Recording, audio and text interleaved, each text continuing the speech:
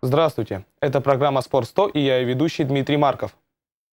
После завершения финального матча чемпионата мира среди молодежных команд по хоккею 2016 окончательно сформировался состав групп на следующий турнир. В группе «Б» наша сборная будет бороться с командами США, Канады, Словакии и Латвии. Чемпионат мира по хоккею 2017 среди молодежных команд состоится в Канаде с 26 декабря 2016 года по 5 января 2017 года. Матчи будут проходить в Торонто на льду Эйрн Канада Центра и в Монреале на льду Бейл Центра. Чемпионат станет уже 41-м молодежным турниром под руководством Международной Федерации хоккея на льду и в нем примут участие 10 национальных молодежных сборных. Это 9 команд, сохранивших место в высшем дивизионе по итогам МЧМ 2016 и молодежная сборная Латвии, поднявшаяся из первого дивизиона. Напомню, что победителем прошлого прошлого молодежного чемпионата мира стала сборная Финляндии. Россия заняла второе место и США третье. Также стали известны соперники профессиональной российской сборной по хоккею в группе на чемпионате мира 2017 года. Сборная России сыграет в группе А матчи, которые будут сыграны на самом крупном крытом сооружении Европе Ланкис Арена в Кёльне, рассчитанном на 18,5 тысяч зрителей. Соперником россиян по группе станут команды Латвии, Германии, США, Швеции, Словакии, Италии и Дании. Полуфиналы и финальные игры группы также пройдут в Кёльне. Первый этап продажи билетов на чемпионат чемпионат мира 2017 уже начался. Пакеты билетов на целый день и пакеты на матчи одной команды будут доступны для покупки в ближайшие месяцы. Билеты на отдельные матчи поступят в продажу следующей весной. В чемпионате мира 2016 года сборная России заняла третье место, обыграв команду США со счетом 7-2.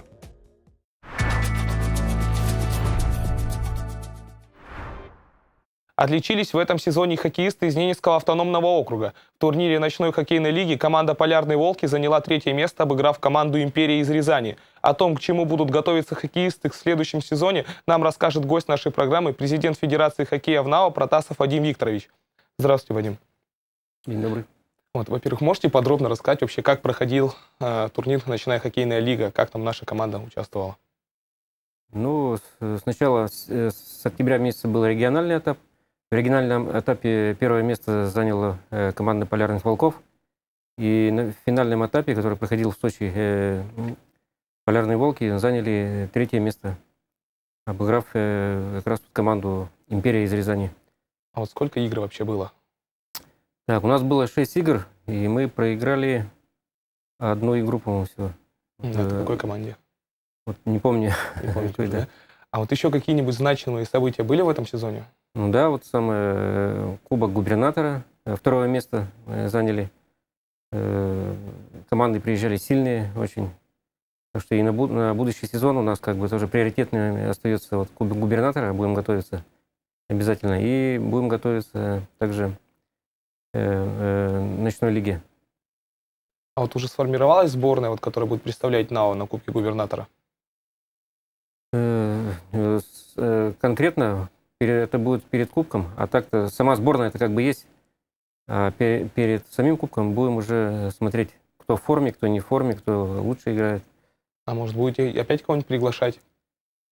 А, я так думаю, что будем. Пока еще э, сами мы пока так не тянем. А вот как молодежно у нас дети выступают? Э, да, кстати, в этом году дети, э, дети наши ездили Э, на финальный этап в город Сочи э, «Золотой шайбы». И заняли 23 место среди 50 команд. Ну, я считаю, что достойно выступили, потому что там обыгрывали, э, ну, можно сказать, хоккейные столицы некоторые. Угу. А сколько команд у них было вообще соперников? Ну, вообще приехало 53, что ли, команды. Где-то так. Вот заняли 23 место они. Угу. Проиграли, по-моему, две игры, если не ошибаюсь. 8, 8 игр, по-моему, было у них. Две игры проиграли. А вот э, сейчас занимаются хоккеисты чем-нибудь, подготовкой к чему-нибудь именно вот после закрытия сезона? Ну, сейчас у нас э, каникулы хоккейные. 29 июня была последняя там, заключительная игра, э, закрытие сезона. Ну, разделились просто на две команды и играли. И сейчас до 1 сентября, пока перерыв, тренера уехали, ну, все разъехались, там, как бы, и народу мало стало ходить я так думаю, что для пятерых-шестерых человек там тренировки нет смысла э, проводить. А вот э, как закончился все-таки вот закрытие сезона? Какая команда все-таки победила? Разделились, я забыл, как они, команды, ну, разделились. Э, играли Восток, команда Восток и команда... Короче, Восток победил. Вторая команда, я не помню, как их назвали, но Ну, просто разделились в конце. А вот э, какие приоритеты будут наставлены на следующий год? Какие-то, может, уберутся турниры, какие-то появятся новые? Э, Ну, у нас на местном уровне э, вот идет чемпионат, э, как обычно.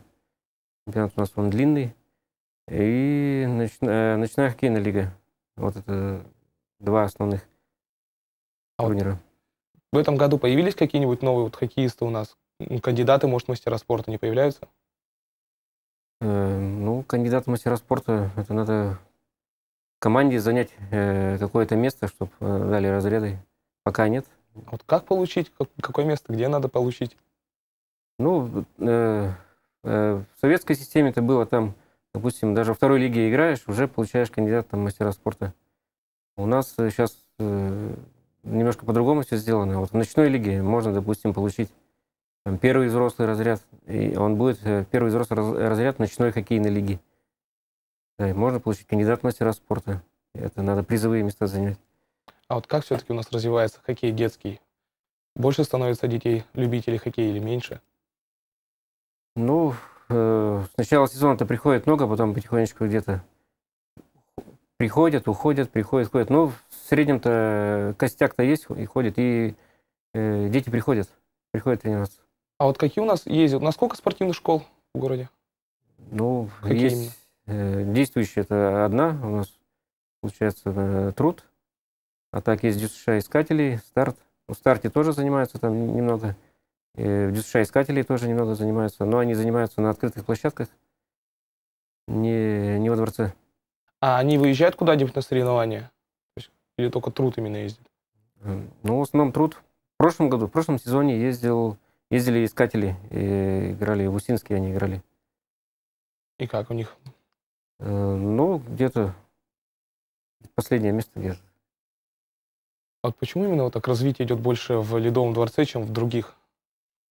Ну, родители, во-первых, естественно, приведут ребенка э, в зал, чтобы там и в тепло, где тепло, светло, и снег чистить не надо.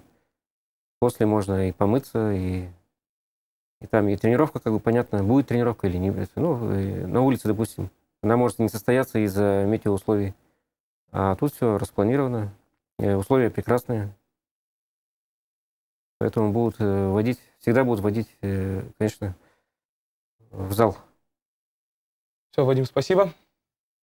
Это была программа «Спорт 100» и я ведущий Дмитрий Марков. Занимайтесь спортом и будьте здоровы!